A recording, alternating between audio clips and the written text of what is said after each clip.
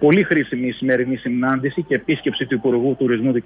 Θεοχάρη στην Κρήτη και στο Δήμο Χερσονήσου, καθώς συζητήθηκαν θέματα που άπτονται του διδήμου τουρισμός πανδημία.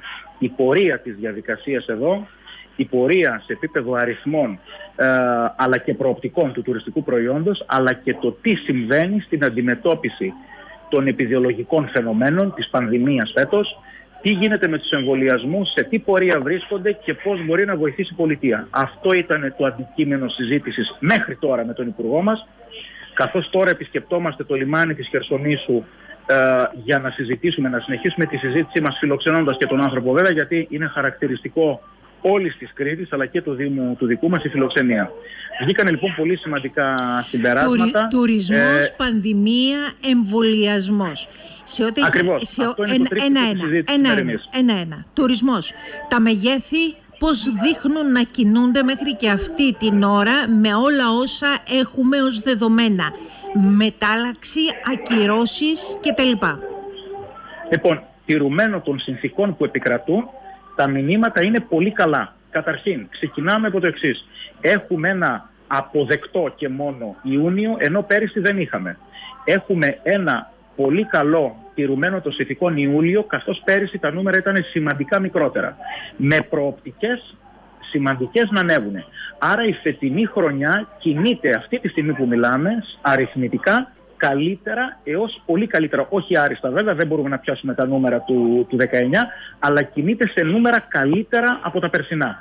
Το κομβικό όμως κυρία Δουλγεράκη που γι' αυτό είναι και ο υπουργός εδώ και είναι στο σημείο καμπής τέτοιο σήμερα, αυτές τις μέρες, είναι αντί να οπισθοχωρήσουμε και να συμβεί κάτι απευκταίο όπως έγινε σε άλλη τουριστική περιοχή της χώρας όπως είναι η Μύκονος, να συνδράμουμε όλοι, ο καθένας από το μετερίζει του, η πολιτεία, η αυτοδιοίκηση, όλοι, ούτως ώστε να προχωρήσει το κομμάτι των εμβολιασμών, να θωρακιστούμε υγειονομικά, ούτως ώστε να μακροημερεύσει το καλοκαίρι φέτος. Εκείνο λοιπόν που θα ήθελα να πω και είναι στο είδηση, σύνολο, στο σύνολο, ε, ε, μισό, μισό, στο σύνολο εννοείται των πολιτών ή, ή στο σύνολο των εργαζόμενων στο χώρο του τουρισμού; Βεβαίως, θα επικεντρώσω σε αυτό. Η σημαντική είδηση όμως που βγαίνει, καθώς το ζητήσαμε από τον κύριο Κικίλια πριν από λίγες μέρες και σήμερα στη συνεννόηση με τον Υπουργό που έκανε κατευθείαν επαφή, είναι ότι από Δευτέρα έρχεται πλέον για να διευκολυνθεί και ο πολίτης αλλά και οι εργαζόμενοι στον τουρισμό στο Δήμο Χερσονήσου, πλέον στο εμβολιαστικό κέντρο του Λιμένα Χερσονήσου θα εμβολιάζονται όποιος θέλει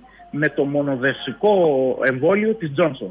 Αυτό είναι μια πολύ σημαντική εξέλιξη, καθώς αυτή τη στιγμή είχαμε κάνει αυτή την παρατήρηση, αν θέλετε, στον κύριο Κικίλια πρόσφατα επισκεπτόμενο στο Ηράκλειο, ότι δεν γίνεται σε μια πολύ σημαντική τουριστική περιοχή που το άνω του 50% του, των ενασχολούμενων με τον τουρισμό υπαλλήλων είναι ανεμβολίαστοι, να υπάρχει το εμβόλιο της Άστρα Δένεκα που είναι σε αποδρομή και γίνονται μόνο δεύτερες δόσεις.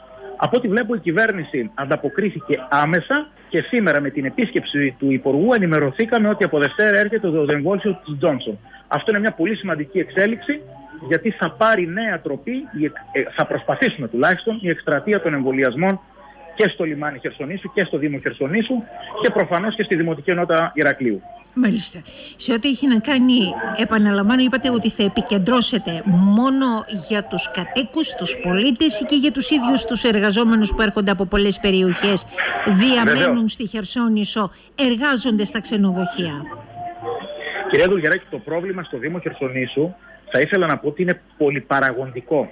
Γιατί έχουμε να κάνουμε και με τους επισκέπτες μας, οι οποίοι βέβαια πρέπει να βρεθεί τρόπος να κάνουμε πολύ πιο γρήγορα τα PCR test για να μπορούν να φύγουν οι άνθρωποι, για να εξέλθουν της χώρας. Και εκείνο που επίσης θα ήθελα να πω, καθώς μας ζητήθηκε η βοήθεια, συνδράμει ο Δήμος Χερσονήσου με όποια μέτρα μπορεί, δηλαδή με αυτοκίνητο, με οδηγό και με όποιο άλλο τρόπο μπορεί, για να γίνονται από Δευτέρα κατοίκον εμβολιασμοί σε αυτούς που έχουν τέτοιου είδους ανάγκη. Σε συνεννόηση λοιπόν με τη ΔΥΠΕ και σε συνεργασία συνδράμει ο Δήμος Χερσονήσου με όποιο τρόπο μπορεί για να γίνονται κατοίκων εμβολιασμοί. Ο στόχος μας είναι λοιπόν και οι δημότες μας, οι πολίτες και οι εργαζόμενοι στον τουρισμό, όπως σας είπα, με το μονοδοτικό εμβόλιο, αλλά και οι πολίτες μας και οι επισκέπτες να μπορούν να κάνουν όσο γίνεται πιο γρήγορα τα PCR test, ούτως ώστε η αλυσίδα εισόδου και εξόδου από τον προορισμό και τη χώρα να είναι όσο γίνεται καλύτερη και πιο γρήγορη.